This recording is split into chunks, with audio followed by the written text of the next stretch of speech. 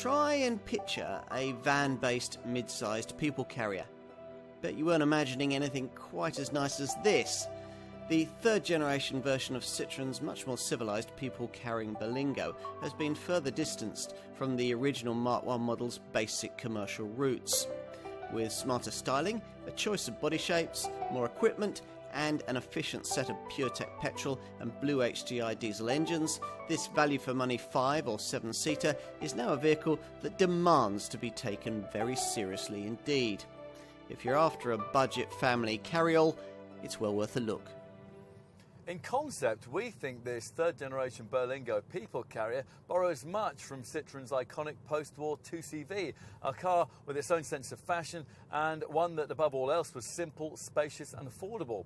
That model's ride quality was one of its greatest attributes, and the same is true here. The damping is tuned to deliver an endearing strolling motion, which is brilliant at dealing with everything from speed humps to road ripples and higher frequency bumps.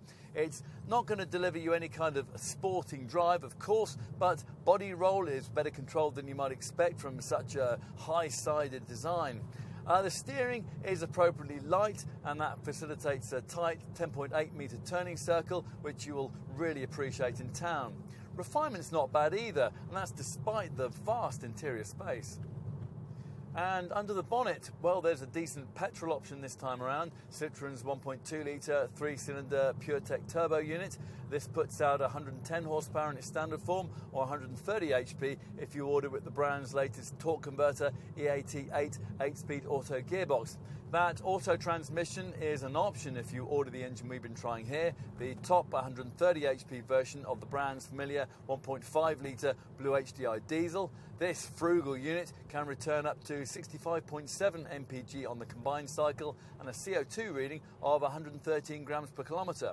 This Blue HDI power plant can also be ordered in 75 HP and 100 HP states of tune too.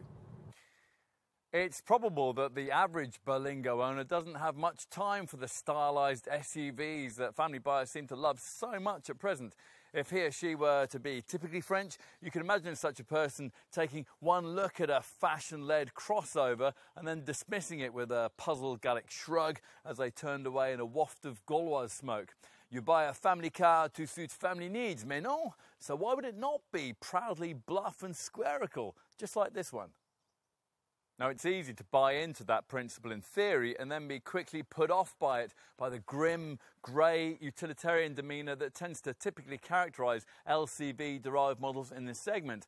After all, no one really wants to be pigeonholed as a delivery driver on the school run. With this one, though, we don't think you will be.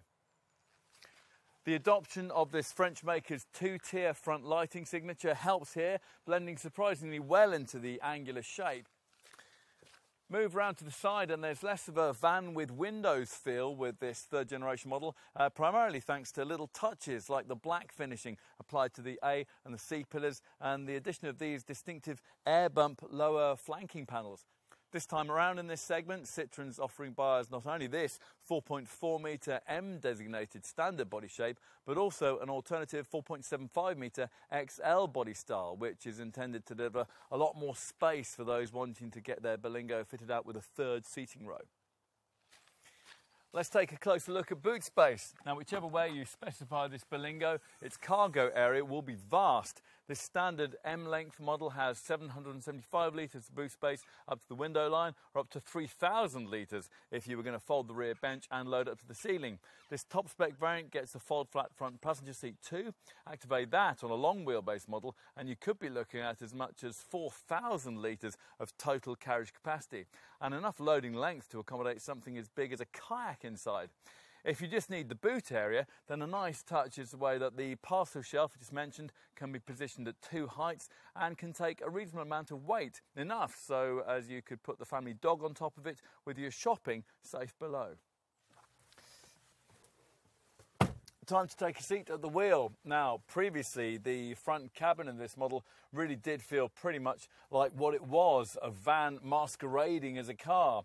This time around, though, uh, the effect feels far more convincing, and that's thanks primarily to the addition of this 8 inch capacitive centre dash infotainment screen, and that's a standard feature that's fitted right across the range.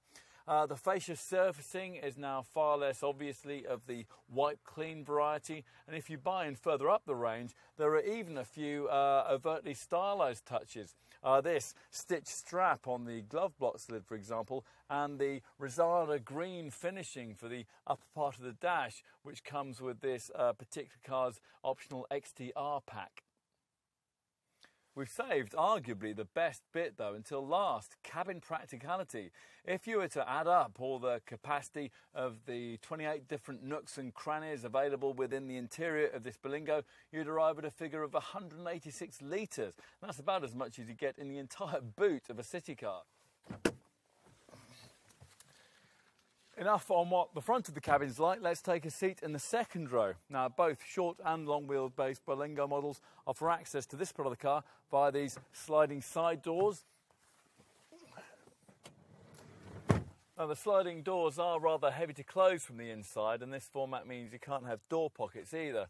Still, on the plus side, this second row offers enough space to suit a wide variety of passenger shapes and sizes, uh, there are vast standards of headroom, and because the centre transmission tunnel is virtually non existent, it's straightforward to accommodate three fully sized adults if need be.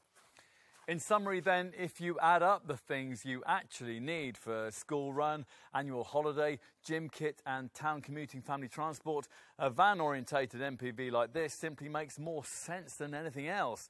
And amongst cars of this genre, we think this Citroën will be for many the most sensible and appealing option from amongst the various models available, especially if you opt for the alternative lengthier seven seat body style. Now, if that Berlingo can be presented with a modicum of style in the way that this top Flair specified variant has been, then so much the better.